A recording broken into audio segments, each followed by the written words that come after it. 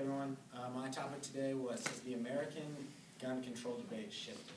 And the answer is yes and no, which is not a very good answer, but the main argument has not shifted pretty much since the Second Amendment was ratified and added to the Bill of Rights. But in recent years, the little details of the argument have shifted. So basically, it comes down to there's two main arguments that people use for or against gun control. The argument against gun control is look, there's no reason we need guns. That was an old rule uh, back in the day when we didn't have you know a standing military. It made sense to have an armed populace to help us defeat these tyrannical governments that were coming in. It's violent. America has awful violent crime, and giving people these guns just lets them go out and commit these atrocities that wouldn't happen if we could control guns, which is pretty much the main argument. But if you look at the last 20 years, America has definitely had a problem with mass shootings. You've got Virginia Tech, which killed 32 people. Oregon killed nine, that was recent. The Aurora Theater was right here in Colorado, that killed 12 people. We had 58 casualties also from that theater shooting. So a total of 70 people were actually injured by one shooter. Uh, Columbine, 13 dead, 24 injured. Sandy Hook, 27 dead. These are all absurd numbers for one crime to come in. One person, one gun kills upwards of 20, 30 people. And all those sources were from the LA Times. So obviously that creates a large debate when you have something that people think can be controlled.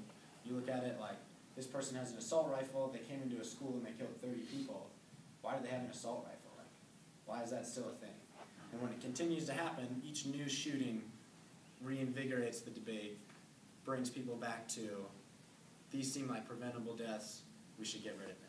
So that's kind of the large, largest argument against is we have all these deaths and it seems like something would be controllable. From there, the other argument is, look, we have sample sizes of other countries or states that have implemented gun control and it seems to work. So in England, obviously nobody there is allowed to have guns at all, even the police aren't armed. They have a lot of knife crime, which is still bad, but you can't go into a school with a knife and kill 30 people, most likely, unless you're really good with a knife. But so America is the second most violent country in the world for gun violence, partly because our entire populace is allowed to have guns. But even compared to, and this is a Harvard study, even compared to other countries, we're one of the most violent nations in the world. We're top five for violent crime, period. So the argument is, if we're already an incredibly violent nation, why are you making it easier for people? Why are you giving people guns so that they can be more violent? So that's the main argument against. The main argument for is obviously the Constitution. Second Amendment says we can we have the right to bear arms. It was given to us so that we could overthrow the government if necessary, so that we as a populace could defend ourselves. Um, and, and the idea is that the Constitution is our, our Bill of Rights defines exactly what we can do. That's a sacred document to us. If you want to change it, then you need to change the actual Constitution. You can't regulate within the amendments. So again, the argument is the amendment says I can, I should be able to. You shouldn't restrict it. Um, another argument is people say that even if you make it illegal, there's no way you can actually stop it. People are going to do it anyway. They, they talk about the drug war. You make drugs illegal and people still do it.